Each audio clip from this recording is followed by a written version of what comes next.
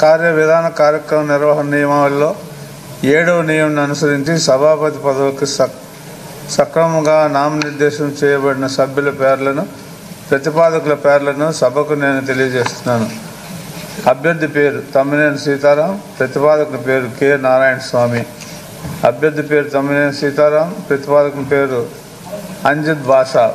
అభ్యర్థి పేరు తమ్మినేని సీతారాం ప్రతిపాదకుని పేరు శ్రీమతి పాముల పుష్ప శ్రీవాణి అభ్యర్థి పేరు తమ్మినేని సీతారాం శ్రీ పెద్దిరెడ్డి రామచంద్రారెడ్డి. అభ్యర్థి పేరు తమ్మినేని సీతారాం ప్రతిపాదకుని పేరు శ్రీ బొత్స సత్యనారాయణ. అభ్యర్థి పేరు తమ్మినేని సీతారాం డాక్టర్ ఆదిమూలం సురేష్ ప్రతిపాదకుని పేరు. అభ్యర్థి పేరు తమ్మినేని సీతారాం ప్రతిపాదకుని పేరు శ్రీ ముత్యంశెట్టి శ్రీనివాసరావు. అభ్యర్థి పేరు తమ్మినేని సీతారాం ప్రతిపాదకుని పేరు శ్రీ ధర్మాన కృష్ణదాస్. అభ్యర్థి పేరు శ్రీ తమ్మినేని సీతారాం ప్రతిపాదకుని పేరు పోలిపోయిన అనిల్ కుమార్. అభ్యర్థి పేరు తమ్మినేని సీతారాం. ప్రతిపాదకుని పేరు శ్రీ ఎం శంకరనారాయణ. అభ్యర్థి పేరు తమ్మినేని సీతారాం. ప్రతిపాదకుని పేరు శ్రీ బి ముత్యాల నాయుడు. అభ్యర్థి పేరు తమ్మినేని సీతారాం. ప్రతిపాదకుని పేరు సామినేని ఉదయభాను. అభ్యర్థి పేరు తమ- శ్రీ తమ్మినేని సీతారాం. ప్రతిపాదకుని పేరు శ్రీ కాపు రామచంద్రారెడ్డి. అభ్యర్థి పేరు శ్రీ తమ్మినేని సీతారాం ప్రతిపాదకుని పేరు శ్రీ పీడిక రాజన్న ధర. అభ్యర్థి పేరు తమ్మినేని సీతారాం ప్రతిపాదకుని పేరు ఎన్ రఘురామరెడ్డి. అభ్యర్థి పేరు శ్రీ తమ్మినేని సీతారాం ప్రతిపాదకుని పేరు శ్రీ అంబటి రాంబాబు. అభ్యర్థి పేరు శ్రీ తమ్మినేని సీతారాం ప్రతిపాదకుని పేరు శ్రీ మేడా మల్లికార్జున్ రెడ్డి అభ్యర్థి పేరు శ్రీ తమ్మినేని సీతారాం ప్రతిపాదకుని పేరు శ్రీ కె శ్రీనివాసులు. అభ్యర్థి పేరు శ్రీ తమ్మినేని సీతారాం ప్రతిపాదకుని పేరు శ్రీ జోగి రమేష్. అభ్యర్థి పేరు శ్రీ తమ్మినేని సీతారాం ప్రతిపాదకుని పేరు శ్రీ వీరభద్రస్వామి. అభ్యర్థి పేరు శ్రీ సమ్మినేని సీతారాం ప్రతిపాదకుని పేరు గొల్ల బాబురావు. అభ్యర్థి పేరు శ్రీ తమ్మినేని సీతారాం ప్రతిపాదకుని పేరు శ్రీ మద్దంశెట్టి గో వేణుగోపాలరావు. అభ్యర్థి పేరు శ్రీ సమ్మినేని సీతారాం ప్రతిపాదకుని పేరు శ్రీ కరణం ధర్మశ్రీ. అభ్యర్థి పేరు శ్రీ తమ్మినేని సీతారాం. ప్రతిపాదకుని పేరు ఎం నవాజ్ బాషా. అభ్యర్థి పేరు తమ్మినేని సీతారాం. ప్రతిపాదకుని పేరు శ్రీ తోపుదుత్తు ప్రకాష్ రెడ్డి. అభ్యర్థి పేరు శ్రీ తమ్మినేని సీతారాం. ప్రతిపాదకుని పేరు శ్రీమతి విడుదల రజని. అభ్యర్థి పేరు శ్రీ తమ్మినేని సీతారాం. ప్రతిపాదకుని పేరు చెట్టి పాల్గొన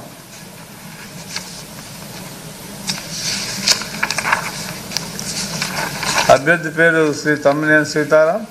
ప్రతిపాదకుని పేరు తోపుల ఆర్థర్ అభ్యర్థి పేరు శ్రీ తమ్మినేని సీతారాం. ప్రతిపాదకుని పేరు శ్రీ వసంత వెంకట కృష్ణ ప్రసాద్. అభ్యర్థి పేరు శ్రీ తమ్మినేని సీతారాం. ప్రతిపాదకుని పేరు శ్రీ పెట్ల ఉమాశంకర్ గణేష్. సక్రమంగా నామనిర్దేశం చేయబడిన అభ్యర్థి శ్రీ తమ్మినేని సీతారాం గారు ఒక్కరే అయినందున సభాపతి పదవికి శ్రీ తమ్మినేని సీతారాం గారు ఏకగ్రీవంగా ఎన్నుకోబడినట్లు ప్రకటిస్తున్నాను శ్రీ శ్రీ తమ్మినేని సీతారాం గారిని నా హృదయపూర్వక అభినందనలు తెలియజేయచ్చు. సభాపతి సభాపతి స్థానమునకు అలంకరించవలసిందిగా వారిని కోరుతున్నాను శ్రీ తమ్మినేని సీతారాం గారిని సభాపతి స్థానం తీసుకురావాల్సిందిగా సభా నాయకుని మరియు ఇతర పార్టీ నాయకులను కోరుచున్నాను.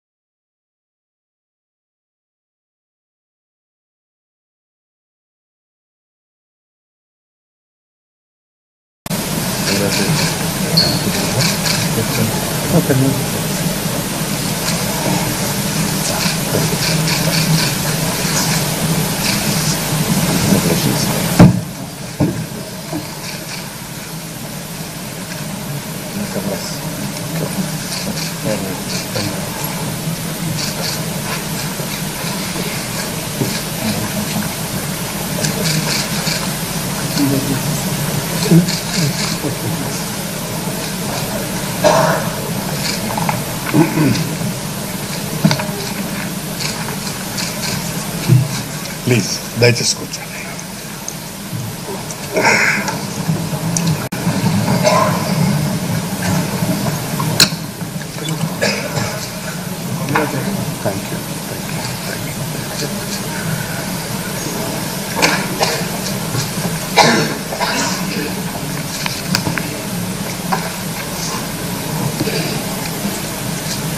లీడర్ ఆఫ్ ది హౌస్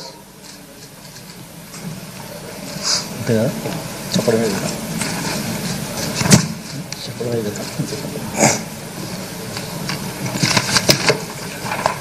అధ్యక్ష.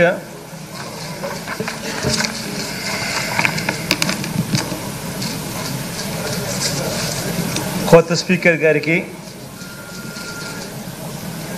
నా తరపున ప్రభుత్వం తరపున ఆంధ్రప్రదేశ్ ప్రజలందరి తరపున అభినందనలు అధ్యక్ష.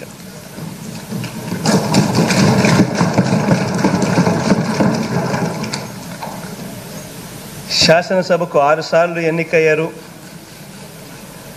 సౌమ్యుడిగా మంచి పేరు తెచ్చుకున్నారు. మీలాంటి వ్యక్తి స్పీకర్గా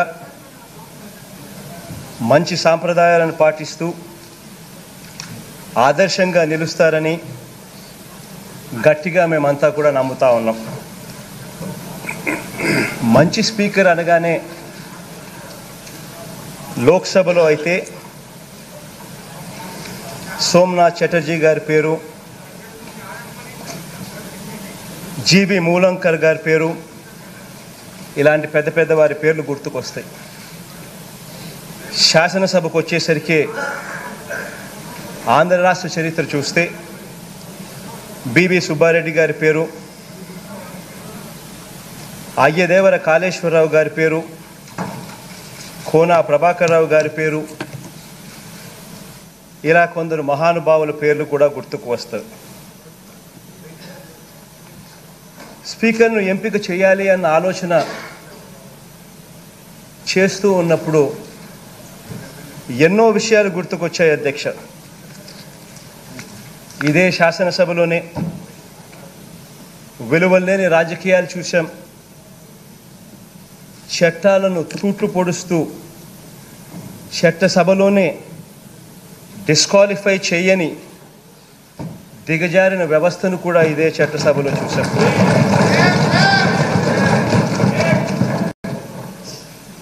ప్రతిపక్ష నాయకుడిని మాట్లాడనివ్వని దిగజారని వ్యవస్థను కూడా ఇదే చట్టసభలో చూశాం ఇలా ఇన్ని ఇన్ని ఇలా ఇన్ని చూశాక నేను ఎలా ఉండాలి అన్న మీమాంస కూడా స్పీకర్ గారిని ఎన్నిక చేసేటప్పుడు ఎలా ఉండాలి అన్న మీమాంస కూడా నాలో కూడా కలిగింది అధ్యక్ష. కానీ నేను కూడా అలానే చేస్తే నేను కూడా అటువంటి అన్యాయమైన సాంప్రదాయం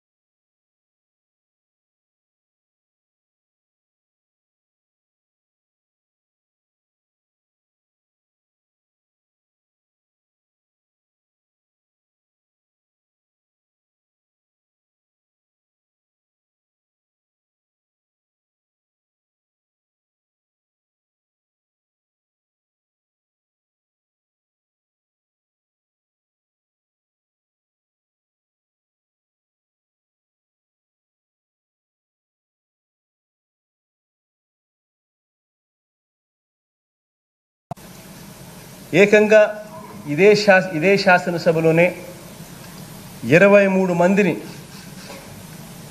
అరవై ఏడు మంది శాసనసభ్యులు వైఎస్ఆర్ కాంగ్రెస్ పార్టీపై గుర్తుపై గెలిస్తే ఇరవై మూడు మంది శాసనసభ్యుల్ని పార్టీ మార్చి కండువాలు కప్పి అందులో నలుగురిని మంత్రులుగా చేసి పార్టీ ఫిరాయింపుల నిషేధ చట్టాన్ని రాజ్యాంగంలోని పదవ షెడ్యూల్లో షెడ్యూల్ని తొంగలేకి తొక్కి ప్రజాస్వామ్య దేవాలయ ప్రతిష్టను ఎలా దెబ్బతినిపోయిందో ఇదే శాసన ఇదే శాసనసభలో మనమంతా కూడా చూసిన పరిస్థితి.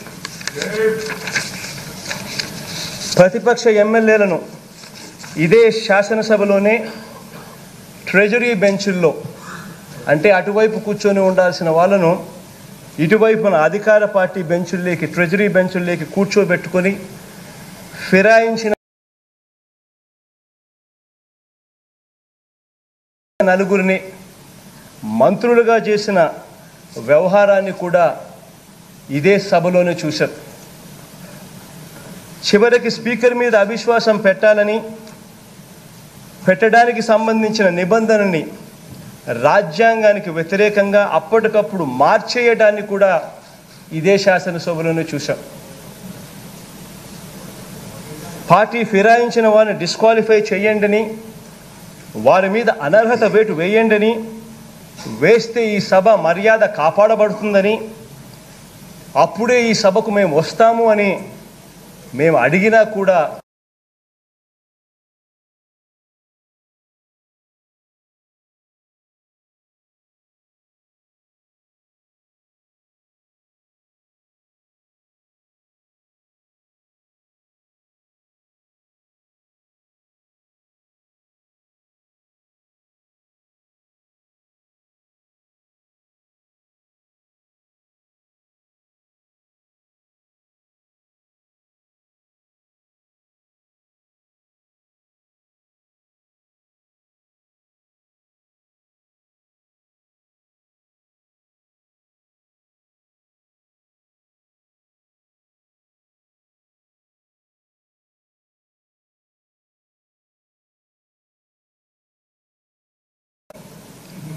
ఎమ్మెల్యేలను కొనుగోలు చేసిన ఎమ్మెల్యేలను కొన్నవారికి వచ్చిన సీట్లు ఎంతో తెలుసా అధ్యక్ష?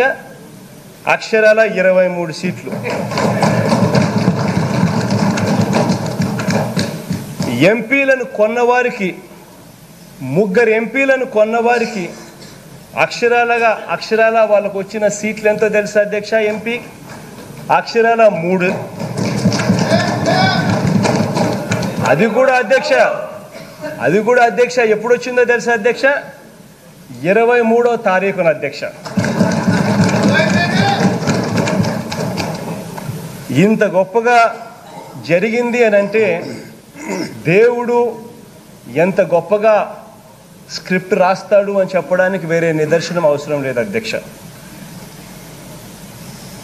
Beauty of democracy beauty of God's grace. ఈ రెండూ కూడా ఈ చట్టసభలో మళ్ళీ ఇవాళ చూస్తూ ఉన్నాం.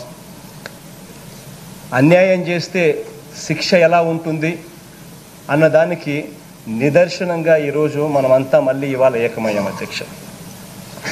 అధ్యక్ష అటు టెండర్ల వ్యవస్థలో కానీ గ్రామ స్థాయిలో కానీ ప్రభుత్వ యంత్రాంగంలో కానీ అవినీతిని తొలగించి వెలువలు విశ్వసనీయత రాజకీయాలకు ఏపీని కేర్ ఆఫ్ అడ్రస్గా మార్చేందుకు మా ప్రభుత్వం మొదటి రోజు నుంచి అన్ని ప్రయత్నాలను చేస్తూ వస్తూ ఉంది. ఈ ప్రయత్నంలో భాగంగానే శ్రీ తమ్మినేని సీతారాం గారిని స్పీకర్గా ప్రతిపాదించడం కూడా జరిగింది. ఒక స్పీకర్ ఒక లీడర్ ఆఫ్ ది హౌస్ ఎలా ఉండకూడదో గత శాసనసభ చూస్తే అందరికీ అర్థమైంది. ఎలా ఉండాలో చెప్పడానికి ఈ శాసనసభ ఈ ప్రభుత్వం కంకణం కట్టుకుందండి.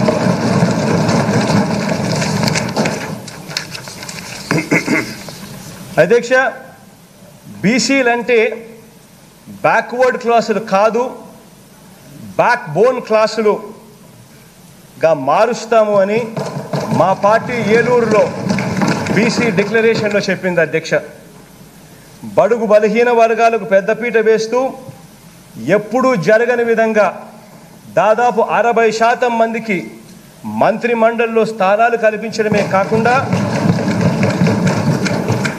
ఐదుగురిని డిప్యూటీ సీఎంలుగా చేశాం. అందులో నలుగురిని బడుగు బలహీన వర్గాలకు సంబంధించిన వారిని డిప్యూటీ సీఎంలుగా చేశాం. అందులో భాగంగా ఇంకా ఒక అడుగు ముందుకు వేస్తూ ఇప్పుడు తమ్మినేని గారిని ఎంపిక ద్వారా అధికారంలోనూ పరిపాలనలోనూ శాసనసభలోనూ మా కమిట్మెంట్ను మా కట్టుబాటును నిరూపించుకుంటా ఉన్నాం అధ్యక్ష ఈరోజు.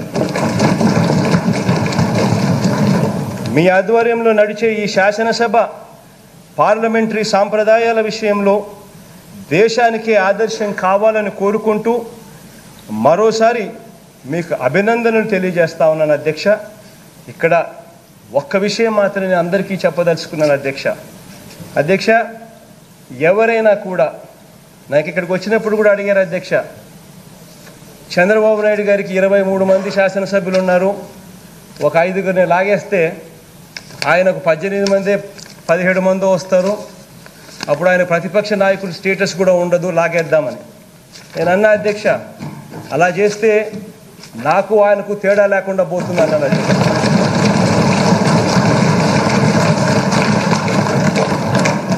అధ్యక్ష ఇక్కడ ఇదే సభలో నేను ఇంకొకటి కూడా చెప్తా ఉన్నా అధ్యక్ష.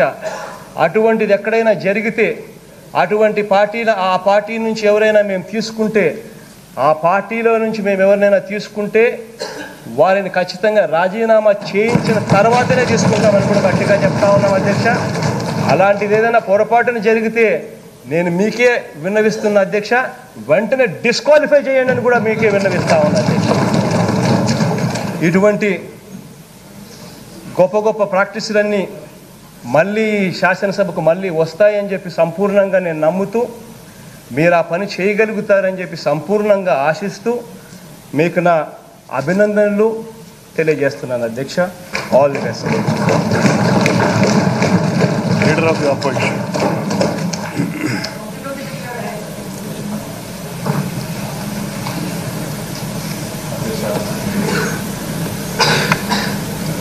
విభజన తర్వాత ఆంధ్రప్రదేశ్కి రెండవ స్పీకర్గా మీరు ఎంపిక కావడం చాలా సంతోషం అధ్యక్ష మీకు మనస్ఫూర్తిగా అభినందనలు వ్యక్తిగతంగా తెలుగుదేశం పార్టీ తరఫున మీకు మనస్ఫూర్తిగా శుభాకాంక్షలు తెలియజేస్తున్నాను.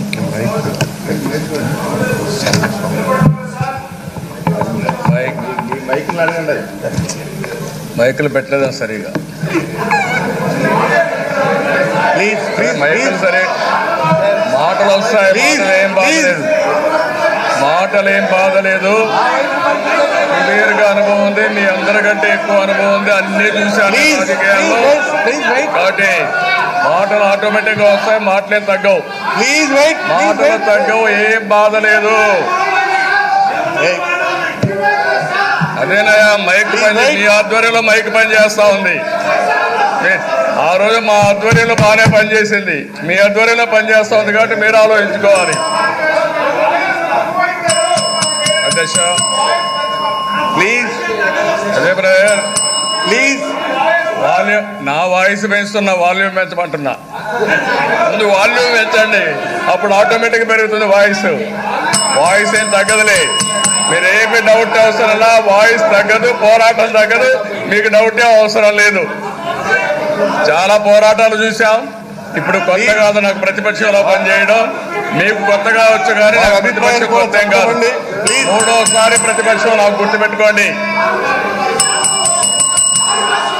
అధ్యక్ష అధ్యక్ష ఈ రోజు నేను కాంట్రవర్సీకి పోదలుచుకోలేదు. ఇది నాట్ ది టైం. కాంట్రవర్సీ అందుకని అధ్యక్ష మొట్టమొదటిసారిగా మీకు అభినందనలు శుభాకాంక్షలు.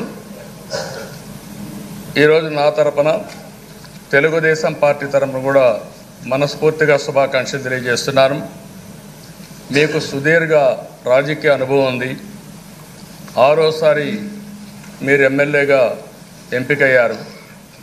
అదే సమయంలో విద్యార్థి నాయకుడిగా అదే మార్గం మీరు రాజకీయాల్లోకి వచ్చారు. ఎన్టీ రామారావు గారు పిలుపునందుకుని మీరు రాజకీయాల్లోకి వచ్చారు. అక్కడి నుంచి మూడు సార్లు మంత్రిగా పనిచేశారు. ఆరు సార్లు శాసనసభ్యుడిగా పనిచేశారు. ప్రభుత్వంలో కూడా మీకు ఎనలేని అనుభవం ఉంది. ఒక విప్పుగా ప్రారంభమైన మీరు అనేక శాఖలకు మంత్రిగా పనిచేశారు. యువజన శాఖ మంత్రిగా ఇంకొక పక్క మున్సిపల్ అడ్మినిస్ట్రేషన్ మంత్రిగా సమాచార టూరిజం శాఖల మంత్రిగా ఎక్సైజ్ శాఖ మంత్రిగా అనేక పదవుల్ని మీరు నిర్వహించడమే కాకుండా ఆ పదవులకి మన్ని తీసుకొచ్చారు. పట్టణాభివృద్ధిలో మీకంటూ ఒక ప్రత్యేకమైనటువంటి స్థానం ఉంది ఆ రోజు నుంచి కూడా. క్రీడా ప్రాంగణాల నిర్మాణంలో కానీ ఆఫ్రో ఏషియన్ గేమ్స్ కండక్ట్ చేయడంలో కానీ మీరు చాలా చొరవ చూపించి మీరు ముందుకు పోయారు. శ్రీకాకుళం జిల్లా నుంచి ఈరోజు రొక్కం లక్ష్మీ నరసింహ దొర తంగి సత్యనారాయణ గారు కావలి ప్రతిభాభారతి గారు ముగ్గురు కూడా స్పీకర్లు అయ్యారు మీరు నాలుగో వారు అంటే శ్రీకాకుళం జిల్లా స్పీకర్లని ఎక్కువగా ప్రొడ్యూస్ చేసే జిల్లాగా కనపడుస్తూ ఉంది రాజకీయ చైతన్యం ఉండే జిల్లా. అలాంటి జిల్లా నుంచి ఈరోజు మీరు మళ్ళీ స్పీకర్ కావడం చాలా అదృష్టం. అలాంటి మిమ్మల్ని మరొక్కసారి వ్యక్తిగతంగా పార్టీ తరఫున మనస్ఫూర్తిగా అభినందిస్తూ మీరు చేపట్టే ఈ బాధ్యత అన్ని విధాల మీకు మంచి పేరు రావాలని మీరు ఈ పదవిలో రాణించాలని మనస్ఫూర్తిగా ఆకాంక్షిస్తూ మరొకసారి పార్టీ తరఫున వ్యక్తిగతంగా మీకు అభినందన తెలియజేసుకుంటూ సెలవు తీసుకుంటాను Please, please, please. Legislative Affairs Minister. Minister Legislative Affairs. అధ్యక్ష ఆంధ్రప్రదేశ్ రాష్ట్ర శాసనసభకు సభాపతిగా ఎన్నికైన గౌరవనీయులు మీకు మా అభినందనలు తెలియజేస్తూ ఉన్నాము. రాష్ట్ర ప్రజలందరూ కూడా శాసనసభను ఎన్నుకుంటే మరి శాసనసభ అంతా కూడా ఏకగ్రీవంగా మిమ్మల్ని అధిపతిగా ఎన్నుకున్నారంటే అది చాలా గొప్ప విషయం అని చెప్పి సభకంతా కూడా మరి రాష్ట్రానికంతా కూడా తెలియజేస్తా ఉన్నాం అధ్యక్ష. అదేవిధంగా ఈరోజు మీరు ఐదు కోట్ల ఆంధ్రులందరికీ కూడా ఎన్నుకున్న శాసనసభకు అధిపతిగా ఉంటా ఉన్నారు అధ్యక్ష. మరి ఎవల్యూషన్ ఆఫ్ పార్లమెంటరీ డెమోక్రసీ చూసినట్లయితే ఆరు వందల సంవత్సరాల చరిత్ర గల బ్రిటిష్ పార్లమెంటరీ డెమోక్రసీ నుంచి వచ్చిన పద్ధతి అధ్యక్ష. అందులో మొట్టమొదటిగా హౌస్ ఆఫ్ కామన్స్ అనేది అయితే ఉన్నిందో అదేవిధంగా ఈరోజు మనము శాసనసభను హౌస్ ఆఫ్ కామన్స్గా భావించవచ్చు అధ్యక్ష. హౌస్ ఆఫ్ లార్డ్స్ ఏదైతే ఉందో కౌన్సిల్ కానీ మరి రాజ్యసభ అని అనుకోవచ్చు అధ్యక్ష. మరి హౌస్ ఆఫ్ కామన్స్ తరఫున అప్పట్లో ఎవరు కూడా సభలో మాట్లాడడానికి అవకాశం లేనప్పుడు అందరి తరఫున ఒక్క వ్యక్తికి ఆ అధికారం ఇచ్చినట్లు తెలుస్తూ ఉంది అధ్యక్ష. అది స్పీకర్ గారు. ఆ విధంగా స్పీకర్ అనే పేరు వచ్చింది అధిపతికి అని చెప్పి ఈరోజు ఒక్కసారి గుర్తు చేస్తూ ఉన్నాను అధ్యక్ష. అక్కడి నుంచి ఇవాల్వ్ అవుతూ అవుతూ వచ్చి ఈరోజు మరి సభలో ఒక అందరి తరఫున రిప్రజెంటేటివ్ అయిన స్పీకర్ నుంచి ఈరోజు సభకు ఒక జడ్జిగా మరి సభకు ఒక అధిపతిగా ఉంటున్నా అంటే మరి ఎంత విలువైన స్థానం అది మర్యాదపూర్వకమైన స్థానము బాధ్యత గల స్థానం అని చెప్పి ఒక్కసారి అందరు కూడా నేను గుర్తు చేస్తూ ఉన్నాను అధ్యక్ష.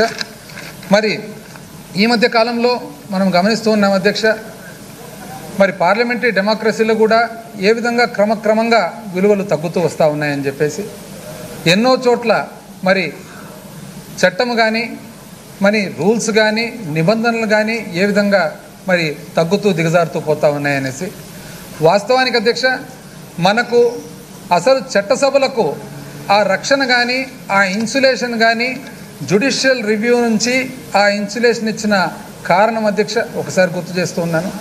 ఇది కేవలము చట్టసభ ప్రధానమైన బాధ్యత మనము చట్టను చట్టాన్ని రూపకల్పన చేయడము అవసరమైతే చట్టాన్ని అవసరం కొద్దీ సవరించడం. సో ఇక్కడ జరిగే డిబేట్ కానీ డిస్కషన్ కానీ దానికి రిజల్ట్గా మనకి ఈరోజు చట్టం అనేది ఏర్పడతా ఉంది అధ్యక్ష.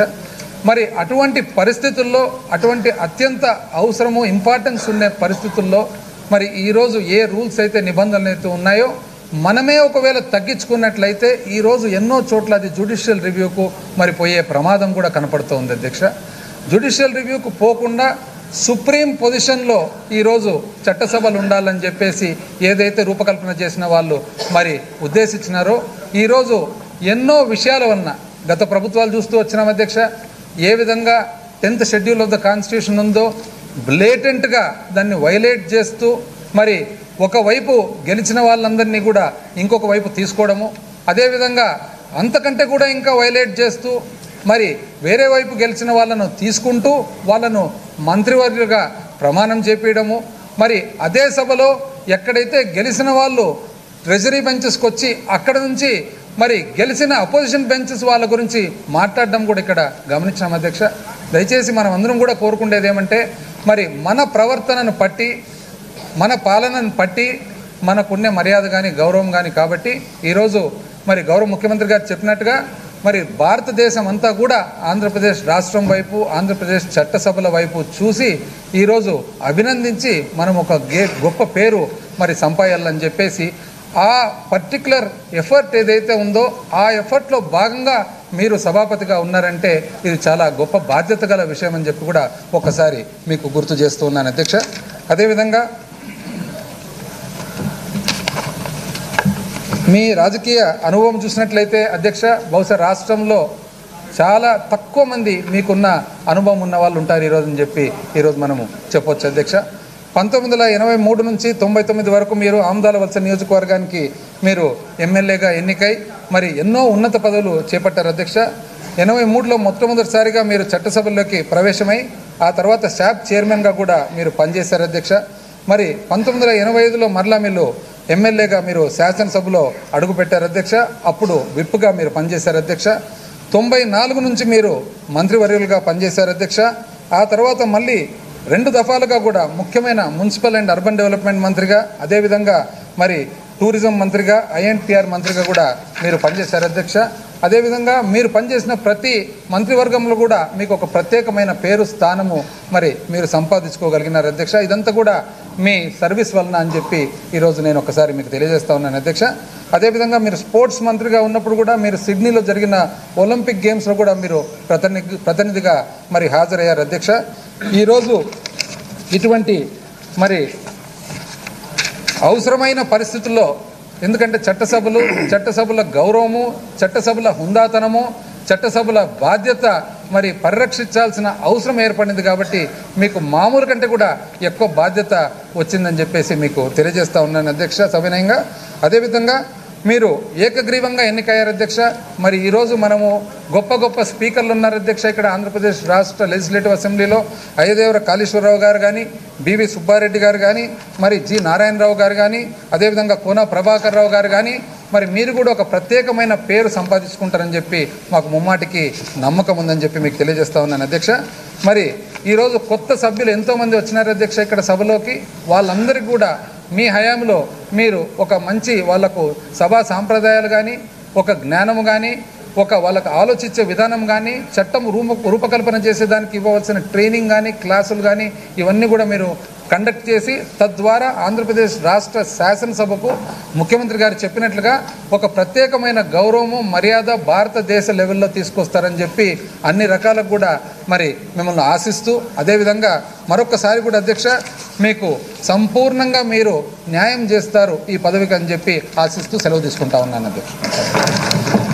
ధర్మాన ప్రసాదరావు గారు.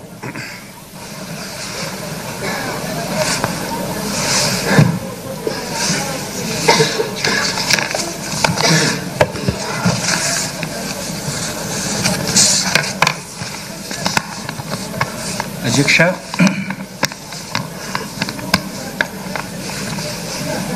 మీరు శాసనసభాపతిగా ఎంపిక కావడం శ్రీకాకుళం జిల్లాకు గౌరవం లభించింది. ఈ రాష్ట్రంలో ఉండేటువంటి వెనుకబడిన తరగతులు ఒక రాజ్యాంగ పదవి వచ్చిందనేటువంటి సంతోషం కనిపిస్తుంది ఈ అవకాశం మీకు రావడానికి సభానాయకులు గౌరవనీయులు ముఖ్యమంత్రి గారు మిమ్మల్ని పార్టీ తరఫున ఎంపిక చేయడం తదుపరి సభ ఏకగ్రీవంగా ఎన్నుకోవడం. సభానాయకులకి సహచర సభ్యులకి అలాగే ప్రతిపక్షానికి అందరికీ నా కృతజ్ఞతలు తెలియజేస్తున్నాను. ఏకగ్రీవంగా ఎన్నిక కావడం ఒక మంచి సాంప్రదాయం. ఆ సాంప్రదాయం మళ్ళీ కొనసాగింది. మీరు ఇప్పుడే సభానాయకులు చెప్పారు. ఇతర సభ్యులు మాట్లాడినప్పుడు కూడా చెప్పారు. మీరు అనుభవం ఉన్నటువంటి వాళ్ళు. అనేక శాసనసభల్లో సభ్యులుగా మంత్రిగా అటు ప్రతిపక్షంలోనూ పాలకపక్షంలోనూ కూర్చున్నారు. అనేక మంది స్పీకర్స్ వారు నిర్వహించినటువంటి సభ సాంప్రదాయాల్ని తీరుని మీరు చూసి అనుభవం కలిగి ఉన్నారు. ప్రజా జీవితంలో కూడా అట్టడుగు ప్రజలతో సంబంధాలు కలిగినటువంటి వారు. ఉత్సాహంగా ఒక అన్యాయాన్ని ఎదిరించాలన్నటువంటి తపన కలిగినటువంటి మీరు. అందుకే ఆరుసార్లు శాసనసభకి ఎన్నిక కాబడ్డారు. మా జిల్లా నుంచి మన జి- మా జిల్లా నుంచి మన జిల్లా నుంచి మీరు నాలుగో స్పీకర్. రొక్కం లక్ష్మీ నరసింహ దొరగారు తదుపరి కీర్తిశేషులు తంగి సత్యనారాయణ గారు తదుపరి శ్రీమతి కావలి ప్రతిభాభారతి గారు తర్వాత మీకు ఈ అవకాశం వచ్చింది. చాలా అరుదైనటువంటి పదవి మీకు లభించడం మా అందరికీ లభించినట్టుగా భావిస్తూ సభానాయకులకి నేను మరొకసారి కృతజ్ఞతలు తెలియజేసుకుంటున్నాను. స్పీకర్ అనేటువంటిది speaker is the symbol of democracy. ఇది సాధారణంగా మిగతా ప్రజలు అబ్జర్వ్ చేయాలనుకుంటాం కానీ మొన్న జరిగినటువంటి ఎన్నికలే సభ నిర్వహణ తీరును కానీ సభలో సభ్యులు ప్రతిపక్ష నాయకులు ప్రజల సమస్యలు అనేక రాజ్యాంగ ఉల్లంఘనలు జరుగుతున్నప్పుడు ఆ సభ నిర్వహించేటువంటి తీరు ఆ వ్యక్తుల మీద ప్రజల తాలూకు ప్రభావం ఎంత ఉంటుంది అన్నది నిన్న జరిగినటువంటి ఎన్నికలు పెద్ద ఉదాహరణ అని మీకు ఈ సందర్భం మన చేస్తుంది నేను కూడా కొన్ని సందర్భాల్లో బహిరంగ సభల్లో మాట్లాడేవాడిని.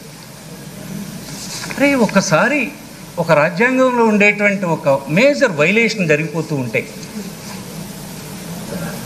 అలాంటి సందర్భాల్లో శాసనసభ కానీ రాజ్యాంగ వ్యవస్థ అయినటువంటి స్పీకర్ కానీ ఇక అటు పార్లమెంట్ కానీ రాజ్యసభ లోక్సభలు కానీ జ్యుడిషియరీ కానీ ఏది స్పందించి ఒక అడ్డుకట్ట వేయలేనటువంటి స్థితి ఒక దేశంలో ఉంటే ఆ వ్యవస్థలు సరిగా పనిచేయలేని పరిస్థితి ఉంటే పని చేయడం లేదని ప్రజలు భావిస్తే భావించినప్పుడు ప్రజలు నిస్పృహ స్థితికి వెళ్ళిపోయే ప్రమాదం ఉంది. ఈ వ్యవస్థ పట్ల నమ్మకం పోయే ప్రమాదం ఉంది. అలాంటి సందర్భంలో ఎక్కడో ఒక అడ్డుకట్టు పడాలే. పడకపోతే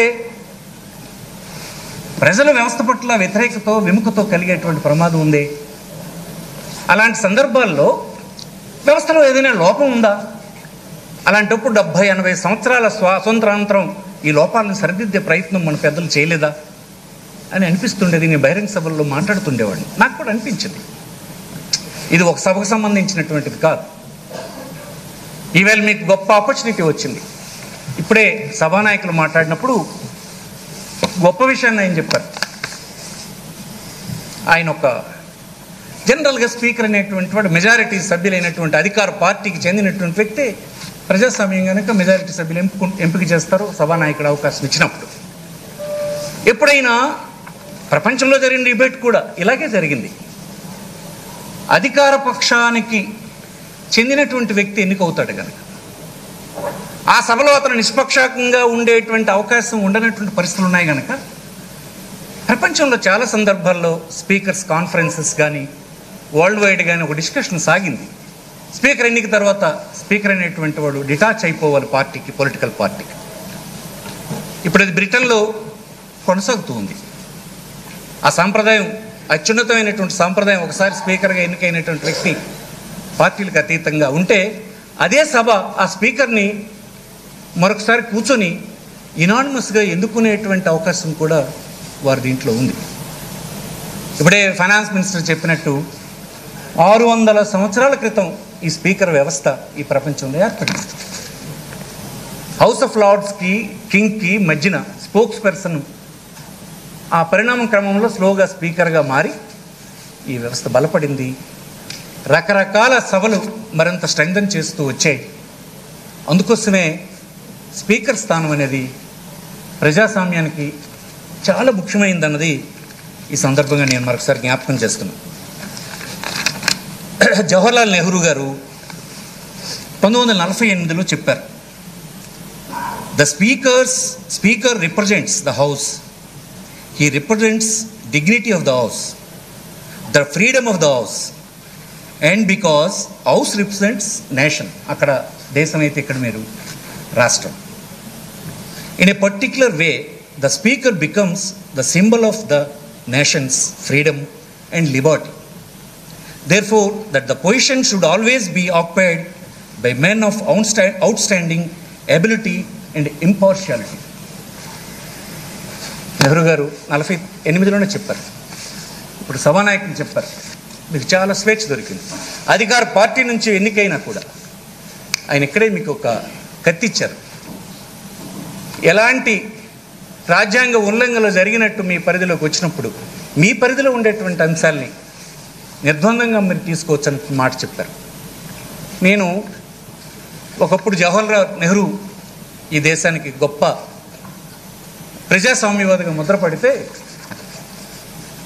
ఈవేళ మన సభానాయకులు చేసిన ప్రసంగంలో ఒక మాట కూడా ఇది ఎప్పటికైనా ఒక రిఫరెన్స్ వర్డ్ అవుతుందని ఈ సందర్భంగా నేను చిన్న విషయం ఏం కాదు.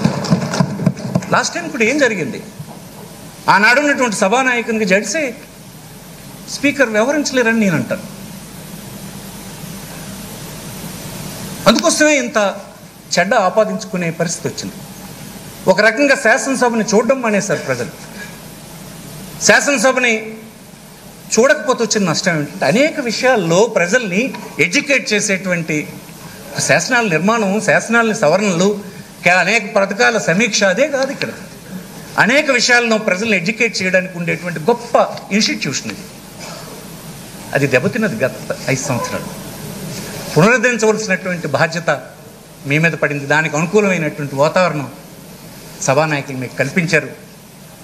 తప్పకుండా ఇది మీకు మంచి పేరు తీసుకురావడానికి ఈ సభని సజావుగా నడపడానికి మంచి నిర్ణయాలు తీసుకోవడానికి ఉపయోగపడుతుందని మనం చేస్తాం నేను కూడా చాలా సభల్లో సభ్యునిగా ఉన్నాను. ఇతరత్ర బాధ్యతలు నిర్వర్తించి నాకు కూడా అనిపిస్తుంది. కేవలం ప్రతిపక్షం వాదనలు చేయడానికే ఈ సభ ఉపయోగపడుతుంది అనేది అంత నేను నమ్మను. పాలకపక్షం కూడా తన విధానాల్ని సులువైన మార్గంలో ప్రజల దృష్టికి తీసుకువెళ్ళడానికి ఇదే మంచి వేదిక అని నేను నమ్ముతున్నాను ఇంత పెద్ద ఎత్తున ప్రజలు అబ్జర్వ్ చేసేటువంటి సందర్భాన్ని ప్రభుత్వం తీసుకునే విధాన నిర్ణయాలు కార్యక్రమాలు అమలు చేస్తున్నటువంటి తీరు దాంట్లో ఉన్న నిజాయితీ ఆ లక్ష్యాల్ని చెప్పడానికి మంచి వేదిక అవుతుంది. అంచేత ఇది ప్రతిపక్షానికి ఎంత అవసరం ఉంటుందో పాలకపక్షానికి కూడా అంతే అవసరం ఉంటుంది. ఎవరైనా పొరపాటు పడితే తప్పని నా తర్వాత వచ్చినటువంటి సభ్యులకి నేను మనవి చేస్తున్నాను పాలకపక్షం కూడా అంతే ఉపయోగించుకోవచ్చు.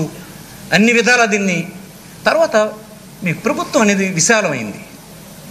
ఈ ప్రభుత్వం అనేక ప్రోగ్రామ్స్ అమలు జరుగుతున్నప్పుడు వివిధ ప్రాంతాల నుంచి రిప్రజెంట్ చేస్తున్నటువంటి సభ్యులు క్లోజ్గా వాళ్ళు ఆలోచనల్ని కింద స్థాయిలో వారు బాటమ్ లెవెల్లో అబ్జర్వ్ చేసినటువంటి విషయాల్ని కింద యంత్రాంగం చేయకపోతే కరుడుగట్టినటువంటి వ్యక్తులు ఉండి కూర్చున్న దగ్గర పని జరగకపోతూ ఉంటే శాసనసభ వేదిక. ఇక్కడ నుంచి ఒక ప్రశ్న వెళ్తే కింద స్థాయిలో పోయి ఏం జరుగుతుందని సమాచారం రావడానికి ఒక కదిలికి వస్తుంది. అది అధికారంలో ఉండేటువంటి రాజకీయ పార్టీకి ప్రయోజనం అవుతుందే తప్ప నష్టం కాదన్నది నా అభిప్రాయం అని మనం చేస్తాం పని చేయడానికి దోహదం చేసే పురికొల్పేటువంటి ఒక వ్యవస్థగా కూడా ఇది పనిచేస్తుంది.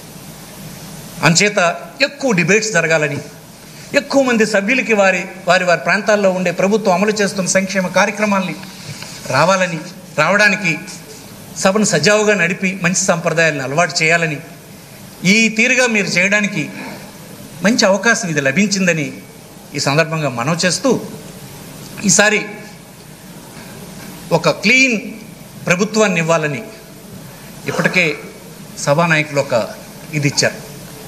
దీనికి పెద్ద ఎత్తున సహకారం కావాలి.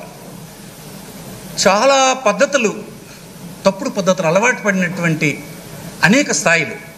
ఒక క్లీన్ గవర్నమెంట్ని అంగీకరించడానికి కూడా అంత ఈజీగా ఇష్టపడరు. దాన్ని కఠినంగా అమలు చేయవలసినటువంటి అవసరం ఉంటుంది. కమిటనే కొరడా పట్టుకోవాల్సిన అవసరం ఉంటుంది. అలాంటి శక్తి సామర్థ్యాలు పట్టుదల మొండితనం మా నాయకుడికి ఉన్నాయని మేము పూర్తిగా నమ్ముతూ ఉన్నాం. ఆ దిశగా తీసుకెళ్ళడానికి ప్రయత్నం చేస్తాం. దిగజారినటువంటి వ్యవస్థల్ని సరిదిద్దేటువంటి ప్రయత్నం ఎవరో ఒకరు చేయాలి.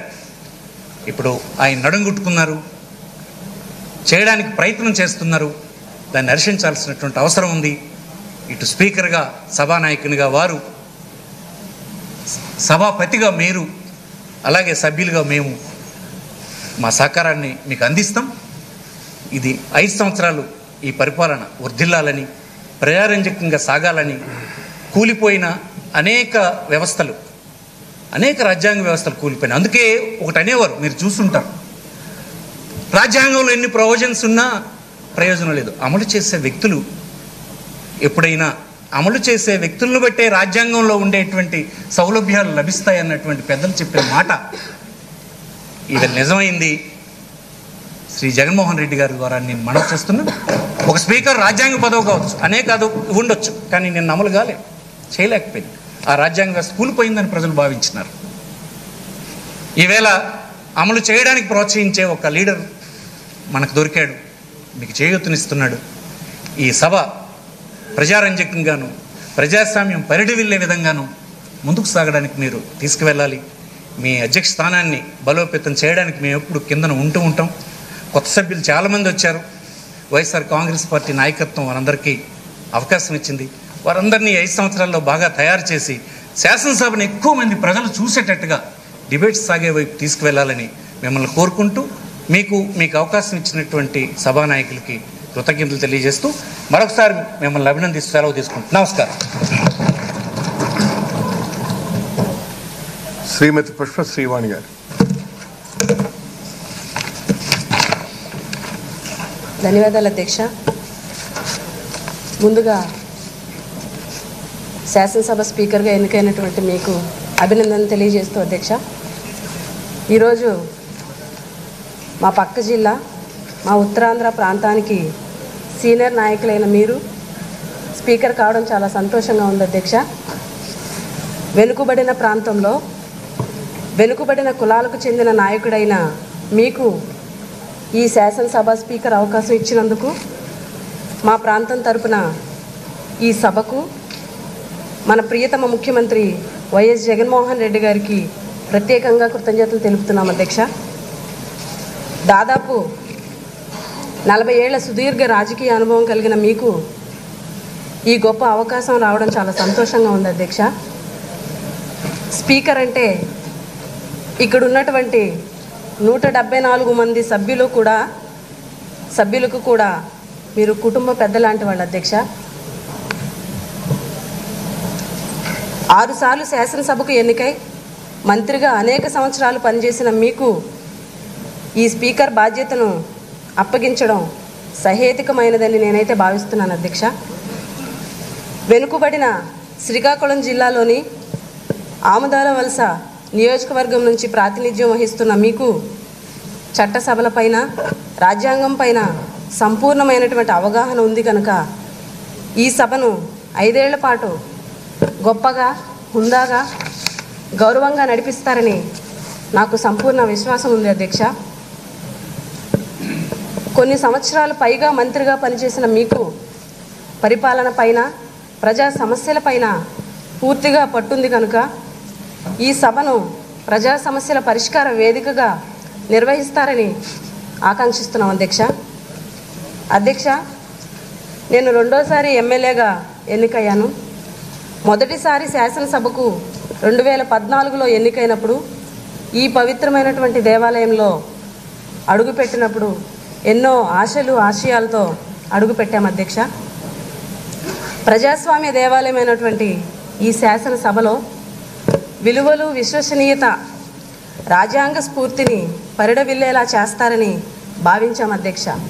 కానీ దురదృష్టవశాత్తు గత శాసనసభలో సభా నిర్వహణ అలా జరగనందుకు చింతిస్తున్నాం అధ్యక్ష.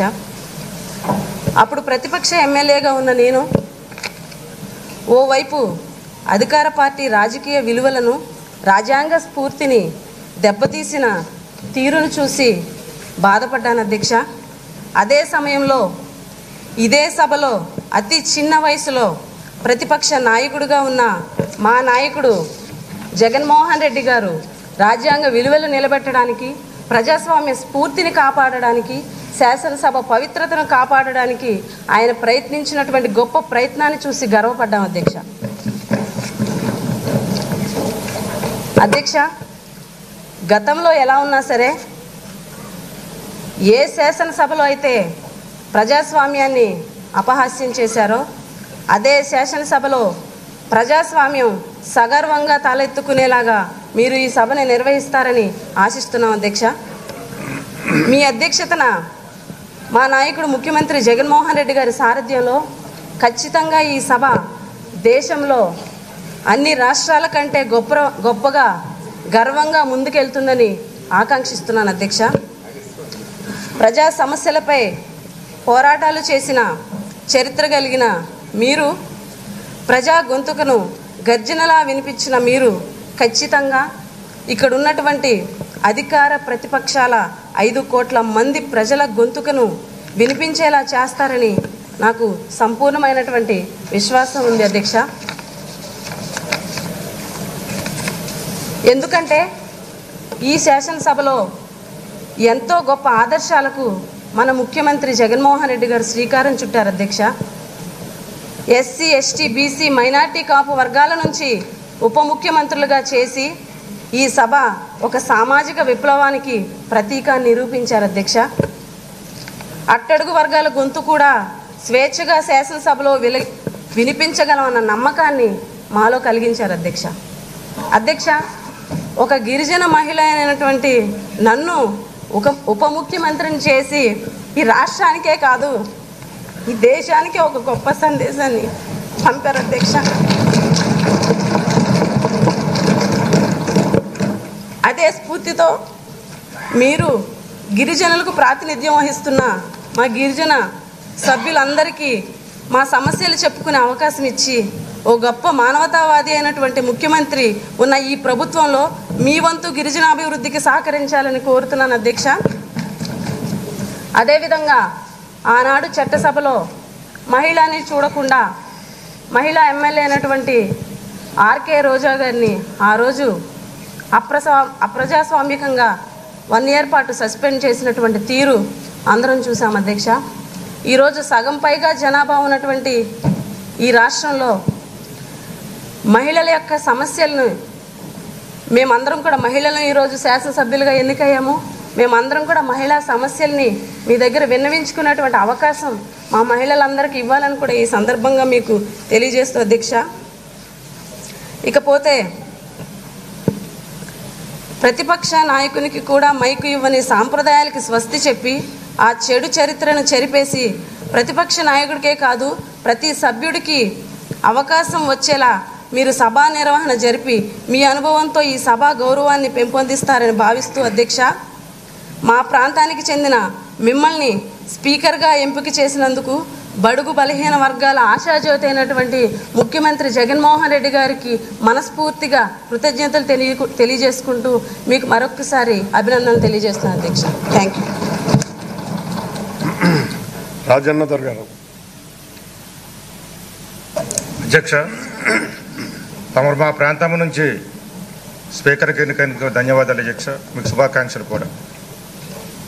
మీరు వ్యవస్థల గురించి బాగా క్షుణ్ణంగా తెలిసిన వ్యక్తి అధ్యక్ష. రాజ్యాంగం తెలుసు చట్టాలు తెలుసు పరిపాలన అనుభవం ఉన్న వ్యక్తి అధ్యక్ష. అంటే ప్రతి అక్షరం మీకు తెలుసు. సభను ఎలా నడపాలి కుందాతనం ఎలాగ ఉండాలి రాజ్యాంగ రక్షణ ఎలాగ ఉండాలి సభలో జరిగిన పొరపాట్లను కూడా జ్యుడిషియల్ రివ్యూకి వెళ్ళకుండా మీ పరిధిలో ఉండేటట్టు చర్యలు ఎలా తీసుకోవాలనేది మీకు క్షుణ్ణంగా తెలుసు అధ్యక్ష. అటువంటి వ్యక్తిగా మీరు స్పీకర్కి ఎన్నికయ్యారు అధ్యక్ష. మనం ఈ సభలోనే చూసాం అధ్యక్ష. ఎటువంటి కార్య కార్యక్రమాలు జరిగేవి? మరి ఆ రోజు ప్రతిపక్షం కూడా మేమందరం కూడా బయటకు ఎందుకు వెళ్ళిపోయాము? వెళ్ళవలసి వచ్చిందో బాయ్కట్ చేయవలసి వచ్చిందో పరిస్థితులను కూడా మీకు స్పష్టంగా తెలుసు అధ్యక్ష. అటువంటి పరిణామాలు పరిస్థితులు ఏ సభకు కూడా రాకూడదనేది తమకు విన్నపించుకుంటున్నాం అధ్యక్ష. ప్రతి ఒక్క సభ్యుడు కూడా గౌరవించాలి అధ్యక్ష. అవకాశం ఇవ్వాలి అధ్యక్ష. వాళ్ళ వాదనలు వినాలి అధ్యక్ష. డిబేట్ జరగాలి అధ్యక్ష. వాళ్ళ సమస్యలు చెప్పించాలి అధ్యక్ష.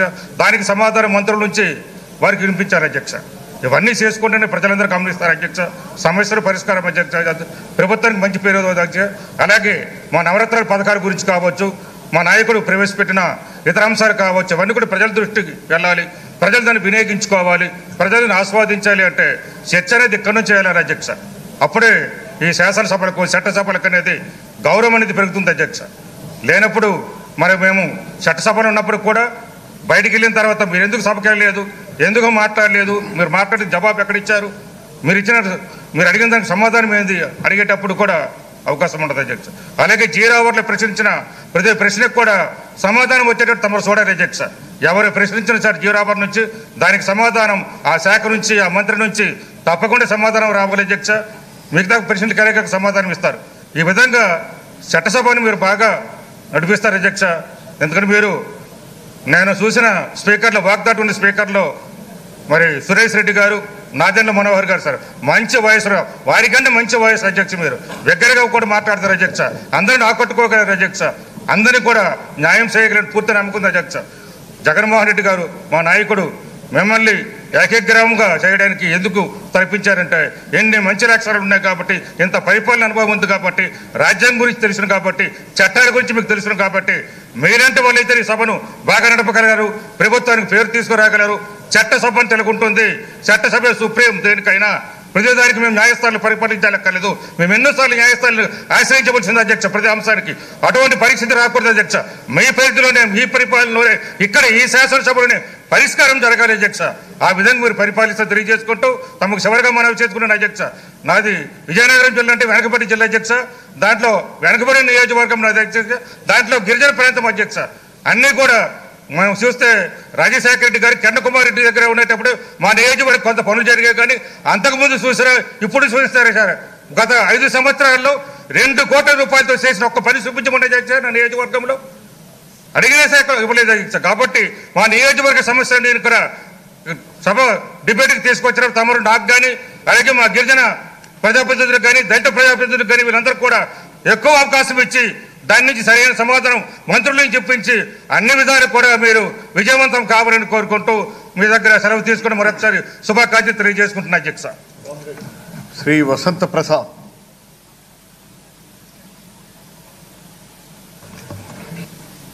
అధ్యక్ష మీకు శుభాకాంక్షలు. మీ గురించి నిన్న మీతో సభలో కలిసిన తర్వాత ఈరోజు ఉదయం ఇక్కడికి బయలుదేరే ముందు మా తండ్రి గారితో మాట్లాడాను.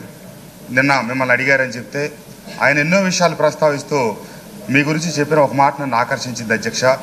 ఒకప్పుడు ఆయుధాల వలసగా ఉన్నటువంటి ఆమదాల వలసని ఎంతో గొప్పగా మార్చిన వ్యక్తి సీతారాం గారు అని చెప్పారు. అట్లాగే మీకు ఎన్నో విలువలు సీనియర్ శాసనసభ్యులుగా మీకు ఎంతో అనుభవం ఉంది. గత సభలో ఇక్కడ ఏమైతే విలువలు కోల్పోయామో ఏమైతే వాణి వినిపించలేకపోయారో అది ఈ సభలో జరగకూడదని. ఎందుకంటే ఈ సభలో గట్టిగా మాట్లాడితే ప్రతిపక్షం ఎక్కడి నుంచి కనుక వెళ్ళిపోతే ఉప్పు లేని పప్పులాగా ఈ సభ నిస్సారంగా జరిగితే ఎన్నో సంవత్సరాల నుంచి శాసనసభలో అడుగుపెట్టి మేము కూడా చర్చల్లో పాల్గొని ముందుకు రావాలని మా ప్రాంత సమస్యలు వినిపించాలని చెప్పి ఎంతో బలమైన కోరికతో సభలో పెట్టిన నాలాంటి కొత్తగా అడుగుపెట్టిన శాసనసభ్యులకి అవకాశం కల్పించాలని అర్థవంతమైన చర్చకి అవకాశం ఇప్పించాలని చెప్పి కోరుకుంటూ ఈరోజు ఎంతో అనుభవం కలిగిన మిమ్మల్ని స్పీకర్గా ఎన్నిక చేసినందుకు మా సభా నాయకులు ముఖ్యమంత్రి గారికి ధన్యవాదాలు తెలియజేస్తూ మీకు మరొకసారి శుభాకాంక్షలు తెలియజేస్తూ తప్పకుండా గతంలో జి నారాయణరావు గారు అలాగే సురేష్ రెడ్డి గారు నాదెండ్ల మనోహర్ గారు తదితరులనే మేము ఇటీవల కాలం చూసాం. గడిచిన సభలో శాసనసభకు సంబంధించిన వార్తలు లేకపోతే టీవీలో ఇది వచ్చినప్పుడు బలమైన ప్రతిపక్షం ఉన్నా కూడా వారి నొ- గొంతు నొక్కి వారి వాణి వినిపించలేకపోయినప్పుడు మేము ఆ సభల పట్ల ఆసక్తి లేకపోయింది. ఒక సాధారణ పౌరుడిగా మేము చూడలేకపోయాం. కానీ ఈ సభలో అందరి వాణి వినిపించి తప్పకుండా మాబోటి కొత్త శాసనసభ్యులందరికీ అవకాశం కల్పిస్తారని ఆశిస్తూ ముఖ్యమంత్రి గారికి ధన్యవాదాలు తెలియజేస్తూ మీకు మరొకసారి శుభాకాంక్షలు తెలియజేస్తూ సెలవు తీసుకుంటా ఉన్నాను అధ్యక్ష బొత్స సత్యనారాయణ గారు. పెద్దిరెడ్డి రామచంద్రారెడ్డి గారు. అధ్యక్ష మీతో ఉన్న పరిచయం సుదీర్ఘం. మంత్రిగా చూసాము శాసనసభ్యులుగా చూసాము మీ పనితీరు బాగా దగ్గరగా చూసిన వాడిని మీకు మొహమాటం లేదు ముక్కుసూటిగా మాట్లాడే వ్యక్తిత్వం ఉంది. తప్పకుండా తోటి శాసనసభ్యులతో ఏ విధంగా ఉన్నారో ఆ విధంగానే మీరు అందరి శాసనసభ్యులను ఆదరిస్తారనే నమ్మకం నాకుంది. మీ మీద నమ్మకం పెట్టి మా నాయకుడు జగన్మోహన్ రెడ్డి గారు ఏదైతే మిమ్మల్ని ఆ స్పీకర్ కుర్చీలో కూర్చోబెట్టాడో తప్పనిసరిగా మీరు ఆ స్పీకర్ పదవికి న్యాయం చేస్తారు. తప్పనిసరిగా మంచి పేరు తెచ్చుకుంటారని నేను భావిస్తూ ఉన్నాను. మీరు చూశారు గత శాసనసభలో? దాదాపు రెండు నిమిషాలు మైక్ ఇస్తానే మా ప్రతిపక్ష నాయకుడిగా ఉన్న. అప్పుడు జగన్మోహన్ రెడ్డి గారికి మేమంతా కూడా మైక్ కట్ చేస్తారు. మేమంతా కూడా పోడియంలోకి వస్తాం. మేమంతా వచ్చి ఈడ ధర్నా చేస్తామంటే ఇక్కడ నుంచి సైకిళ్ళు స్లిప్పులు పోతాయి. అక్కడేమో మంత్రులు ఒక నలుగురు మంత్రులు నలుగురు శాసనసభ్యులను పెట్టుకొని చనిపోయిన ప్రీతమ్మ రాజశేఖర రెడ్డి గారిని ప్రతిపక్ష నాయకుడిగా ఉన్న జగన్మోహన్ రెడ్డి గారిని ఏ విధంగా దూషించారో ఏ విధంగా దూషణ పర్వాలు జరిగాయో ఆ విధంగా జరగకూడదని చెప్పి నేను కోరుకుంటా ఉన్నాను. ఎన్నో శాసనసభలు చూశాను ఎన్నో స్పీకర్లు చూశాను. కానీ గత ఐదు సంవత్సరాల్లో ఏ విధంగా ఈ స్పీకర్ పదవికి అపకీర్తి తెచ్చారో కూడా మీరు గమనించాలని చెప్పి మరి మేము తప్పకుండా ఆ విధంగా కాకుండా మా నాయకుడికి కానీ మా పార్టీకి కానీ ప్రభుత్వానికి కానీ పూర్తి స్థాయిలో కీర్తి తెచ్చే విధంగా పార్టీ ఇమేజ్ని కానీ ప్రభుత్వ ఇమేజ్ని కానీ పెంచే విధంగా మీరు పనిచేయాలని చెప్పి మిమ్మల్ని పదే పదే కోరుకుంటూ నాకు అవకాశం ఇచ్చిన మీకు నమస్కరించుకుంటున్నాను. బొత్స సత్యనారాయణ అధ్యక్ష స్పీకర్గా ఎన్నికైన మీకు ముందుగా అభినందనలు తెలియజేసుకుంటూ మా ఉత్తరాంధ్ర ప్రాంతం నుంచి మిమ్మల్ని ఎంపిక చేసిన మా సభానాయకుడికి మా పార్టీ వారందరికీ కూడా పేరు పేరున ధన్యవాదాలు తెలుపుకుంటున్నాం. ఓ బలహీన వర్గాలకు సంబంధించిన వ్యక్తిని మాకు మా ప్రాంతానికి సంబంధించిన వ్యక్తిని స్పీకర్గా ఎంపిక చేయడం ఆ నేపథ్యంలో అంతేకాకుండా ఒక అద్భుతమైన అవకాశం. తమరు వచ్చి ఆరు సార్లు ఆరు సార్లు ఎమ్మెల్యేగా ఎన్నికయ్యారు మూడు సార్లు మంత్రిగా చేశారు. ఎన్నోసార్లు చట్టసభలు చూశారు. ఇవాళ ఒక అవకాశాన్ని అద్భుతమైన అవకాశాన్ని రాష్ట్రమంతా కూడా మీకోసం చూసి మీకు మీ తర- మీకు మీ చూస్తున్న అవకాశాన్ని ఇవాళ వచ్చింది.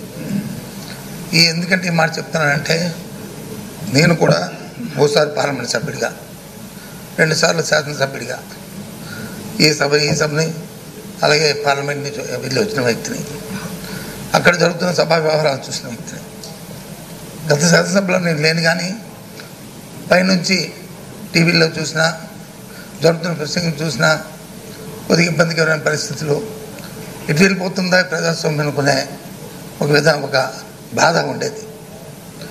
ఎందుకంటే కొత్తగా ఏర్పడిన రాష్ట్రం ఇది. ఇది రెండవ శాసనసభ. గత ఐదు సంవత్సరాలు మొదటి శాసనసభ అయింది. ఇది రెండవ శాసనసభ. కాబట్టి రాష్ట్రమంతా కూడా మిమ్మల్ని ఆ శాసనసభలో ఉన్న ఆ శాసనసభ సభాపతికి ఈ శాసనసభ ఉన్న ఈ వ్యత్యాసాన్ని చూస్తారు. ఆ శాసనసభ వ్యవహారాలని ఈ శాసనసభ వ్యవహారాలని జరుగుతున్న తీరుని పరిశీలి పరిశీలించే నేపథ్యం. మరి ఈ నేపథ్యంలో మీరు ఏదైతే సభానాయకుడి గారు ముందుగా ఆయన మీ అభిప్రాయం తెలియజేశారో అభిప్రాయంతో పూర్తి స్వేచ్ఛని ఎందుకంటే స్వేచ్ఛ అనే పదాన్ని ఎందుకు వాడుతున్నామంటే సహజంగా ఎవరైతే స్పీకర్గా ఉన్న వ్యక్తో ఇందాక మా ప్రసాద్ గారు చెప్పినట్లు అధికార పార్టీకి సంబంధించిన వ్యక్తిని అత్యధికంగా శాసనసభ్యులు ఉంటారు కాబట్టి వారికి అవకాశం వస్తుంది. వారికి అవకాశం వచ్చినప్పుడు ప్రొసీడింగ్ ప్రొసీడింగ్ జరుగుతున్నప్పుడు ట్రెజరీ బెంచ్లో ఉన్న నా నా పెద్దలు వారిని స్పీకర్ కనుస కనుసరణలతో సైకిల్తో వారిని మానిటరింగ్ చేస్తుంటారు. సాక్షాత్తు కొన్ని సందర్భాల్లో మన టీవీలో కూడా అది ప్రత్యేకంగా కనిపిస్తుంటుంది కూడా. కానీ అటువంటి సందర్భాలు కానీ ఆ నేపథ్యాలు కానీ అటువంటి పరిస్థితులు కానీ రావు రావు అని చెప్పేసి అని ముందుగా మీకు సభానాయకులు ఆయన హామీ ఇచ్చారు మా అందరి తరఫున కూడా వారు చెప్పడం జరిగింది. అంటే పూర్తి స్వేచ్ఛను మీకు ఇచ్చారు. ఆ స్వేచ్ఛను వచ్చిన అవకాశంతో మరి మీరు తప్పకుండా సభా సాంప్రదాయాన్ని ఒక విన్నత విలువలతో మరి ముందుకు వెళ్తారని మరి నేనైతే పూర్తిగా విశ్వసిస్తున్నాను. ఎందుకంటే మీ గురించి ఇదో కొత్తగా కాదు. మనం పక్క జిల్లాల నుంచి చూద్దాం పక్క నియోజకవర్గం వాళ్ళం మన ప్రాంతం వాళ్ళం గత ఇరవై సంవత్సరాలుగా పూర్తిగా క్షుణ్ణంగా తెలుసుకోండి కాబట్టి ఆ నిబద్ధతతో ఆ పట్టుదలతో మీరు విజయవంతంగా ఈ కార్యక్రమాన్ని నిర్వహిస్తారు మీ బాధ్యత నిర్వహిస్తారని నిర్వహించాలని ఈ శాసనసభ తాలూకు ఔనిత్యాన్ని ఉన్నత ఔనిత్యాన్ని మీరు కాపాడతారని ఆ ఆ వ్యత్యాసాన్ని కొట్టొచ్చినట్టు ప్రజలకు తెలియచెప్పి అవును మళ్ళీ ఈ శాసనసభ ఉంటుంది ఇంత ఉందాగా ఉంటుంది అని కొత్త సభ్యులు ఎవరైతే ఉన్నారో ఇంకా ఎవరైతే రావాలని కోరుకుంటున్నారో నేను ఒక ఎమ్మెల్యేనైతే ఈ శాసనసభలో ఈ ఈ- పరిస్థితుల్లో నా శాసనసభలో నా నా నియోజకవర్గాన్ని అభివృద్ధి చేసుకోవడానికి అవకాశం దొరుకుతుంది. స్వేచ్ఛగా నా అభిప్రాయాలు చెప్పుకోవడానికి వీలు పడుతుంది. స్వేచ్ఛ వాతావరణంలో ఉంటుంది. ప్రజాస్వామ్యం వర్ధిల్లుతుంది ఒక సాంప్రదాయానికి ఒక విలువకి మీరు కాపాడతారని నేనైతే విశ్వసిస్తున్నాను. తప్పకుండా మీరు చేస్తారనుకుంటున్నాను. మరి ఇవాళ మరి మిమ్మల్ని ఎన్నుకున్న మా సభానాయకుడు మా పార్టీ అందరికీ కూడా మరి మన ప్రాంతవాసిగా మీరు వచ్చినందుకు ముందుగా వారందరికీ ధన్యవాదాలు తెలుపుకుంటూ మీకు కూడా మరి ఇంకోసం మరి ఒకసారి నా శుభాకాంక్షలు తెలియజేస్తూ అవకాశం ఇచ్చినందుకు అవకాశం స్పీకర్ గారికి సెలవు తీసుకుంటున్నాను అచ్చెన్నాయుడు గారు.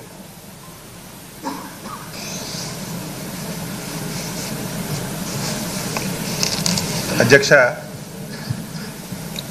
నవ్యాంధ్రప్రదేశ్లో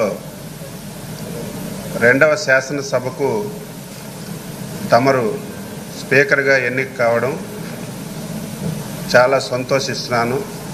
వ్యక్తిగతంగా నా తరపున తెలుగుదేశం పార్టీ తరపున ముఖ్యంగా శ్రీకాకుళం జిల్లా ప్రజలందరి తరపున మనస్ఫూర్తిగా హృదయపూర్వకమైనటువంటి శుభాకాంక్షలు తమకు తెలియజేస్తున్నాను అధ్యక్ష.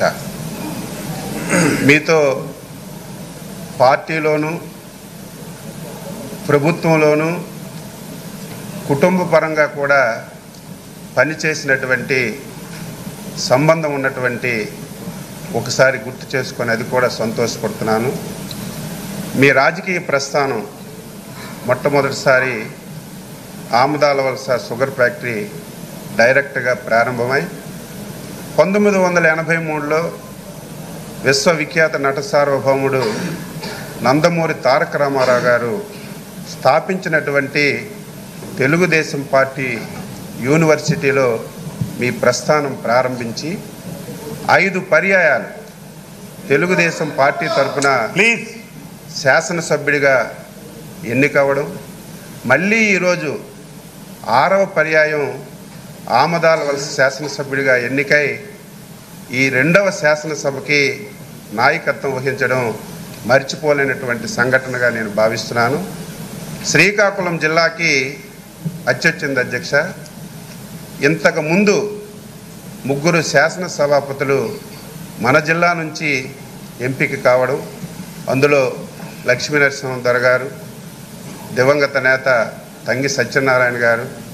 మొట్టమొదటిసారి దేశంలో ఒక దళిత మహిళకి శాసన సభాపతిగా మన జిల్లాకు చెందినటువంటి ప్రతిభా భారతి గారు కూడా కావడం మన జిల్లా చరిత్రలో ఒక నిలిచిపోయినటువంటి సంఘటన.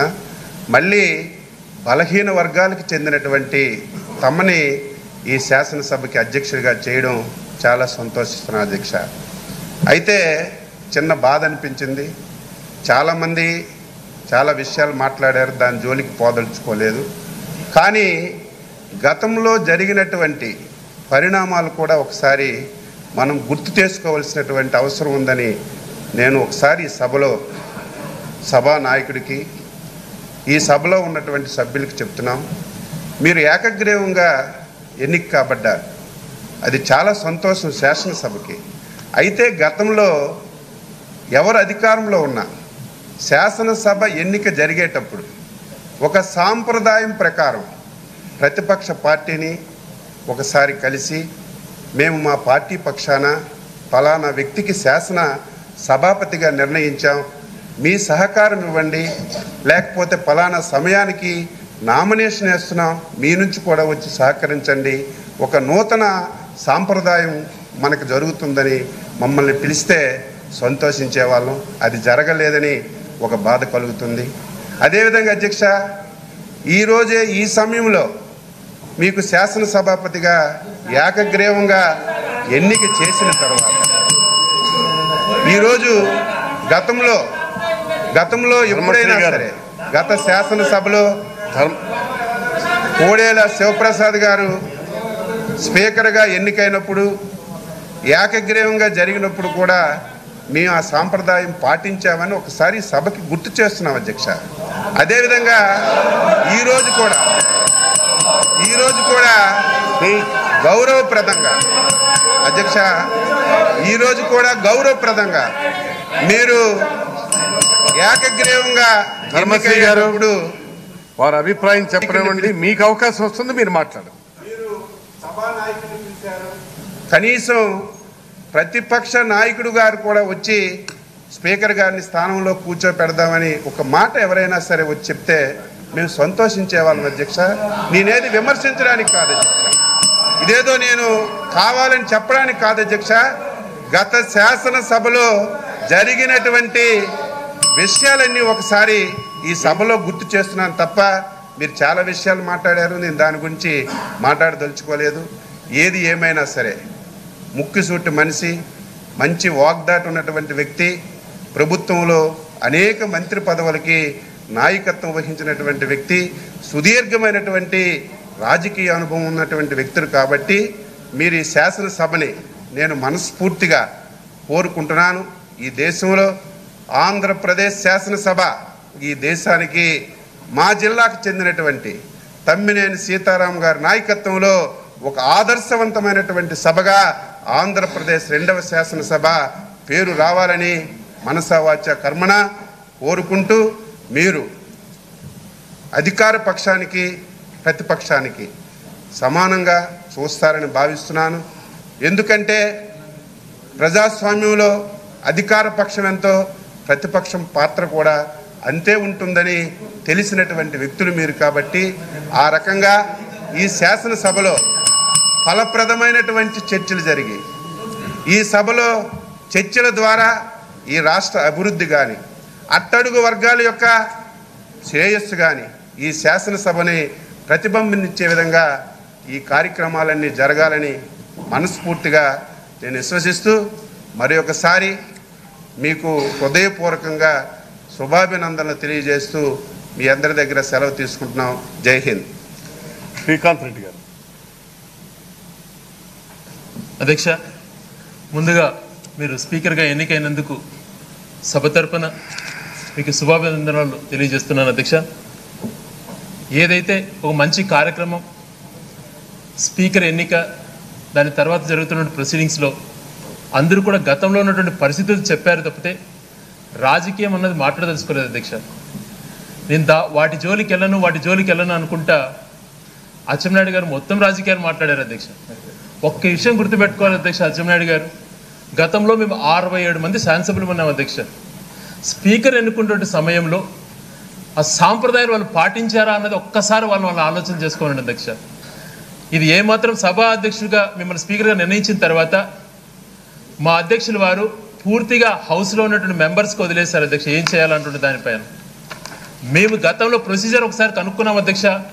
అరవై ఏడు మంది శాసనసభ్యులు ఎన్నుకున్నప్పుడు ఆ రోజు ప్రొసీజర్ మినిమం పాటించలేదు. ఈ రోజు విలువల గురించి మాట్లాడతారు అధ్యక్ష. మేము ఎప్పుడు కూడా ఒకటి అంటుండేవారు అధ్యక్ష మా నాయకుడు రాజశేఖర రెడ్డి గారు కానీ తర్వాత ఇప్పుడు మా నాయకుడు జగన్మోహన్ రెడ్డి గారు కానీ తెలుగుదేశం పార్టీలో ఆ నాయకుడు నిజం అన్నది మాట్లాడితే మీ తలకాయ వెయ్యి ఒప్పులు అవుతుందని ఒక ముని సాపించాడని అంటారు. అదే నాయకులకు అందరికీ వచ్చేసింది అధ్యక్ష. నిజాలు అన్నటువంటిది మాట్లాడారు వీళ్ళు. ఏదో రాజకీయ కొనలో తీసుకెళ్ళాలా అన్నటువంటి రీతిలో మాట్లాడుతుంటారు. ఇంకొకటి అధ్యక్ష ఇంతకుముందు మీరు ఎన్నికైన తర్వాత ప్రొటెన్ స్పీకర్ గారు తన చైర్లో ఉన్నప్పుడు చాలా హుందాగా ప్రతిపక్ష పార్టీ వారు అధికార పార్టీ సభానాయకుడు అందరూ కూడా వచ్చి మిమ్మల్ని చేయలోకి వచ్చి చెప్పి తను విన్నమించిన తర్వాత కూడా అది వినిపించుకున్నారో లేదో కానీ వాంటెడ్గా దాన్ని బలహీన వర్గాలకు సంబంధించినటువంటి స్పీకర్ శాసనసభ్యుడిగా ఎన్నికైతే కనీసం ఆ సంతోషం అనేది కూడా లేకుండా అక్కడికి వచ్చి సాంప్రదాయంగా కూర్చోపెడదామని లేకుండా అక్కడ అక్కడ కూర్చొని మళ్ళా వెనకలన్నటువంటి సభ్యులతో మాట్లాడించడం ఎంతవరకు సమంజసమో ఒక్కసారి ఆలోచన చేసుకోండి అధ్యక్ష. అది కనీసం విలువలు మన ఉండదండి అధ్యక్ష. దాటిపోయిన తర్వాత ఎదురుదాడి సిద్ధాంతాలలో వెళ్ళకూడదన్నది మా విన్నపం. సభాస్థానంలో మీకున్నటువంటి ఎక్స్పీరియన్స్తో చాలా చక్కగా సభ నిర్వహిస్తారు అని చెప్పి అందరూ కూడా అంటుండేవాళ్ళు. మేము కూడా హుందాతనం మీరు పాటిస్తారని చెప్పి కోరుకుంటూ కనీసం హౌస్లో చేసిన పొరపాట్ల వల్ల దైవ నిర్ణయం ప్రకారం వాళ్ళకి వచ్చినటువంటి సీట్లు ప్రజా తీర్పులు అన్ని చూశారు అధ్యక్ష. ఇప్పుడన్నా మారమని కనీసం కొన్ని వాస్తవాలను మాట్లాడ మాట్లాడమని చెప్పి ప్రతిపక్ష నాయకుడిని కోరుతూ సెలవు తీసుకుంటున్నాను అధ్యక్ష. తర్వాత ఇప్పుడు సభ్యులు మాట్లాడుతూ అబద్ధమని అన్నారు అది అది అన్పార్లమెంటరీ అది సత్యదూరమైనటువంటిదని చెప్పి ఇక ముందు మాట్లాడే సభ్యులు అది కొద్దిగా గమనంలోకి తీసుకోండి. తర్వాత straight member to member don't call on their names గౌరవ సభ్యులు. గౌరవ సభ్యుడు మాట్లాడినటువంటి దాంట్లో ఓకే వాస్తవం లేదనో వాస్తవం ఉందనో మీ అభిప్రాయాలు మీరు చెప్పచ్చు. ఇది కాస్త పరిగణలోకి తీసుకోమని చేస్తున్నాం తర్వాత ఒక important announcement I am to announce to the house that Shri Nara Chandrababu Naidu MLA has been elected as the leader of Telugu Desam పా Telugu Desam legislature party as per the communications received by me I recognise Telugu Desam party as the main opposition party in the assembly and it is leader Shri Nara Chandrababu Naidu MLA is recognised as the leader of the opposition in the house next K Sridhara Reddy Sridhara Reddy గారు. నవ్యాంధ్ర రెండో శాసనసభ స్పీకర్గా ఏకగ్రీవంగా ఎన్నికైనటువంటి తమ్మినేని సీతారాం గారికి గౌరవ speaker గారికి శుభాకాంక్షలు అధ్యక్ష. ఈ సందర్భంగా కొన్ని వాస్తవాలు మాట్లాడుకోవాల్సిన అవసరం ఉంది అధ్యక్ష.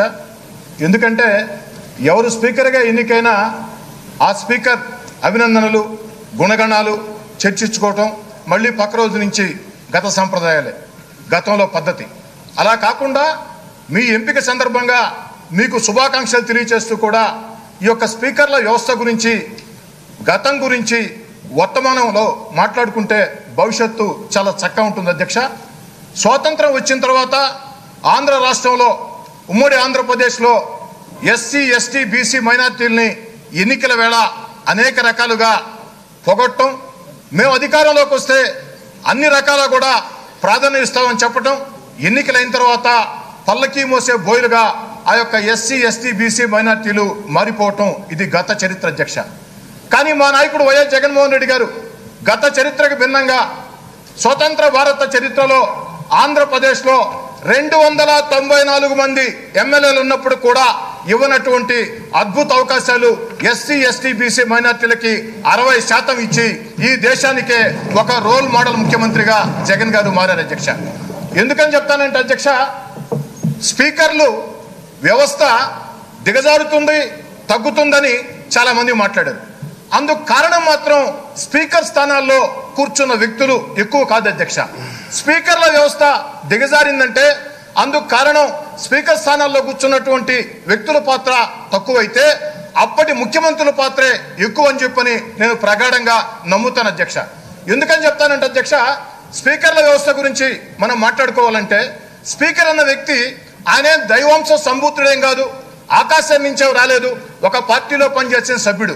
ఆ యొక్క మెజార్టీ సభ్యులు ఎంపికైన తర్వాత స్పీకర్ స్థానంలో కూర్చున్న వ్యక్తి ఆ యొక్క స్పీకర్గా నిష్పక్షపాతంగా వ్యవహరించకుండా ఏకపక్షంగా అధికార పక్షంకే వ్యవహరించక తప్పనిసరి పరిస్థితి. ఎందుకంటే అది ముఖ్యమంత్రుల ప్రోద్బలం. అయితే ఈరోజు వైఎస్ జగన్మోహన్ రెడ్డి గారు ఈ రాష్ట్ర శాసనసభలో మాట్లాడిన మాటలు యాభై సంవత్సరాల అనుభవం మాది నలభై సంవత్సరాల ఇండస్ట్రీ మాది అని చెప్పుకున్న వ్యక్తులు మొత్తం కూడా గుండెల మీద చేతులు వేసుకుని ఆశ్చర్యంగా చూడాల్సిన పరిస్థితి. ఈ దేశంలో ఉండే ముఖ్యమంత్రులందరూ కూడా ఈ రోజు వైఎస్ జగన్ గారు మాట్లాడిన మాటల్ని గుర్తుంచుకోవాల్సిన పరిస్థితి. జగన్ గారు చాలా స్పష్టంగా రెండు మాటలు చెప్పారు అధ్యక్ష. సంఖ్యాబలం మాకుందని ఇష్టారాజ్యంగా మేము వ్యవహరించాం. స్పీకర్గా మీకు పూర్తి స్వేచ్ఛనిస్తున్నాం. ఈ సభని గౌరవంగా నడపండి. ప్రతిపక్ష సభ్యులకి అందరి సభ్యులకు కూడా అన్ని రకాల అవకాశాలు ఇవ్వండి.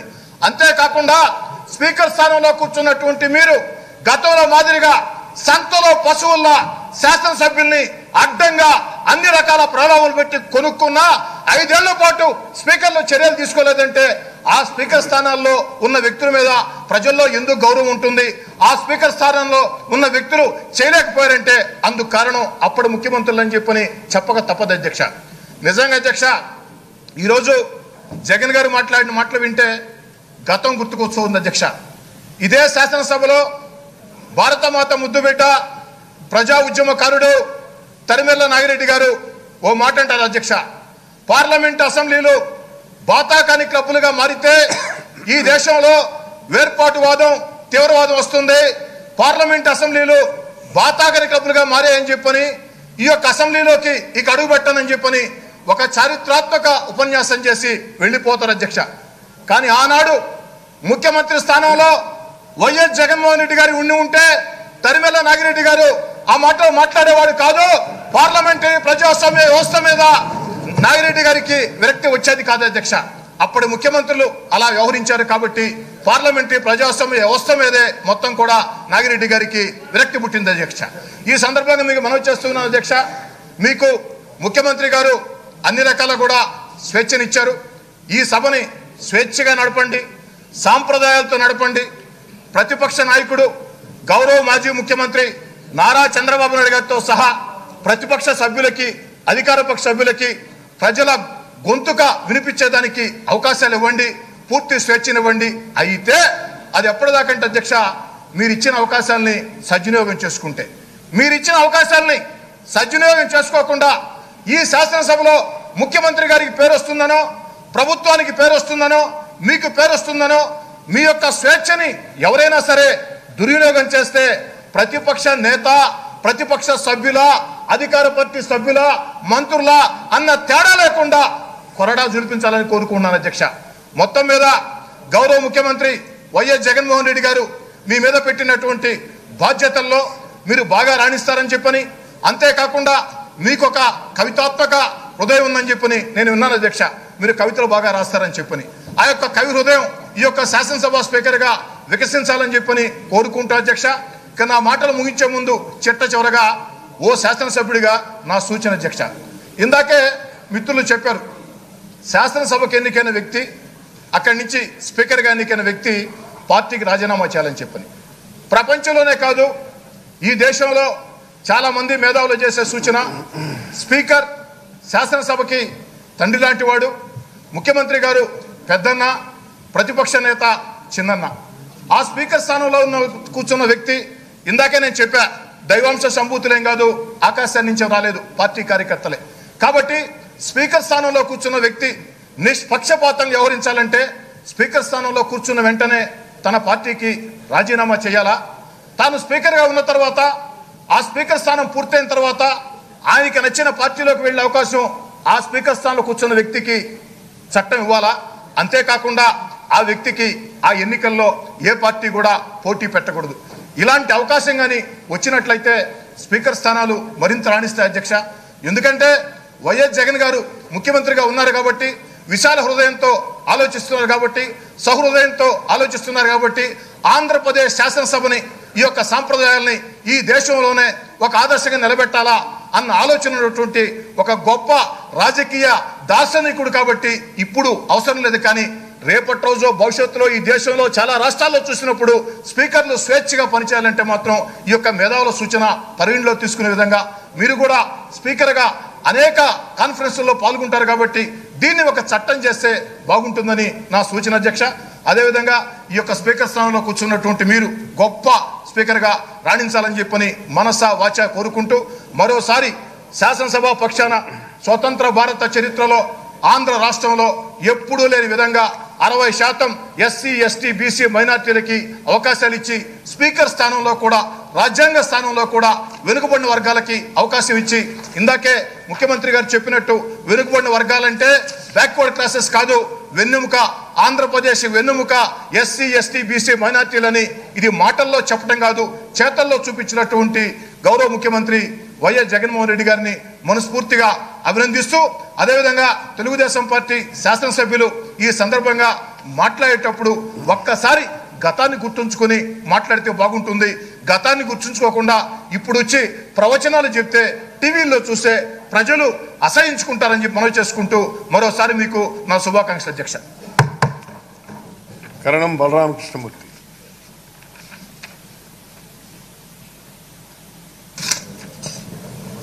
దశ మీరు ఆరు సార్లు ఎమ్మెల్యేగా మూడు సార్లు మంత్రిగా చేశారు. అది కూడా మీ నేచర్ వస్తా వాస్తవంగా ఏదైనా మీరు నమ్మిన దాన్ని గట్టిగా చెప్పగలిగిన శక్తి ఉంది. నేను అనేకసార్లు మేము అబ్జర్వ్ చేసాం ఇప్పుడు కూడా ఈ సభను నడిపేటప్పుడు నిష్పక్షపాతంగా ఉండాల్సిన అవసరం ఉంది. ఎవరు ఆ సీట్లో కూర్చున్నా సరే. ఏ ఒక పార్టీని గురించి నేను చెప్పలేదు.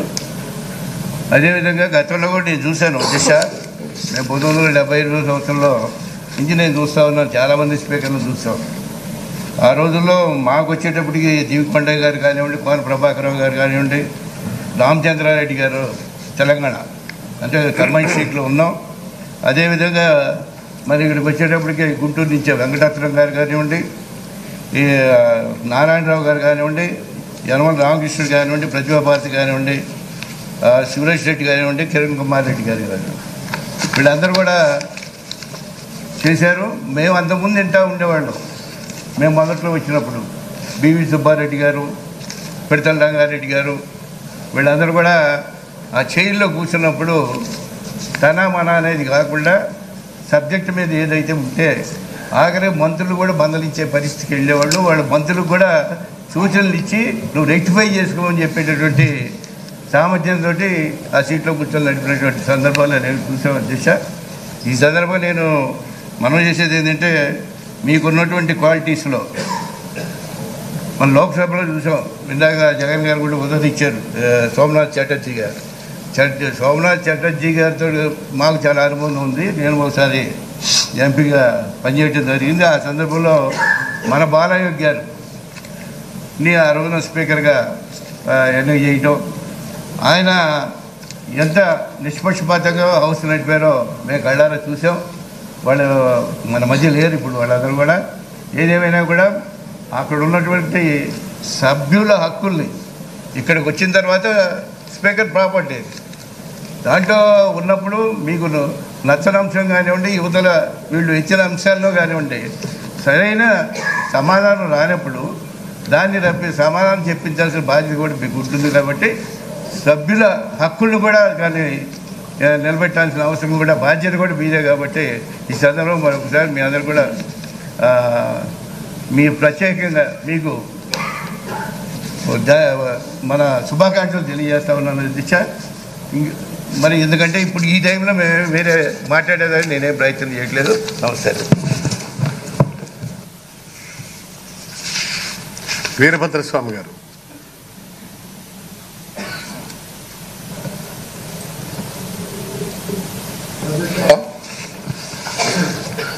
ఈ శాసనసభకి అధ్యక్ష స్థానాన్ని అలంకరించిన మీరు. అది సభ అంతా ఏకగ్రీవంగా మిమ్మల్ని ఆ స్థానంలో కూర్చోబెట్టినందుకు సభకి మీకు అభినందనలు తెలియజేస్తూ మీకు మాకు ఒక అనుబంధం అధ్యక్ష. మీది శ్రీకాకుళం జిల్లా మాది విజయనగరం జిల్లా. అందరూ జిల్లాలు వేరనుకుంటారు కానీ ప్రాంతానికి వచ్చేసరికి మీది మాది ఉత్తరాంధ్ర దిశ. ఉత్తరాంధ్ర ప్రజల తరఫున విజయనగరం జిల్లా ప్రజల తరఫున విజయనగరం శాసనసభ నియోజకవర్గ ప్రజల తరఫున మరొకసారి మీకు అభినందనలు తెలియజేస్తున్నాను అధ్యక్ష. అనేక సభల్లో